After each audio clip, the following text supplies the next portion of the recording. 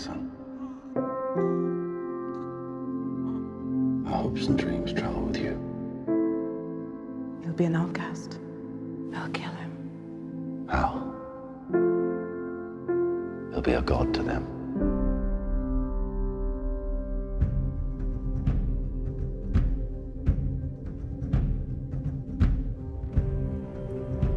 What if a child dreamed of becoming something other than what society had intended? What if a child aspired to something greater?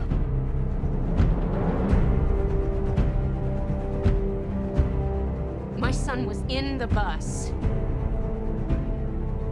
He saw what Clark did. You're the answer, son. You're the answer to are we alone in the universe? Can I just keep pretending I'm your son? You are my son.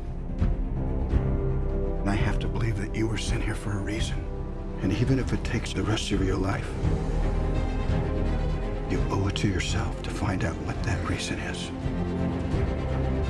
How do you find someone who has spent a lifetime covering his tracks? For some, he was a guardian angel. For others, a ghost who never quite fit in. You will give the people of Earth an ideal to strive towards. They will race behind you. They will stumble.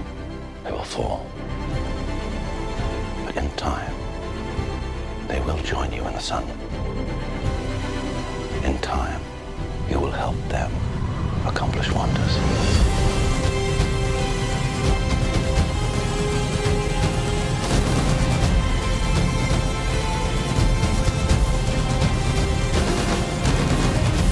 You believe your son is safe? I will find him!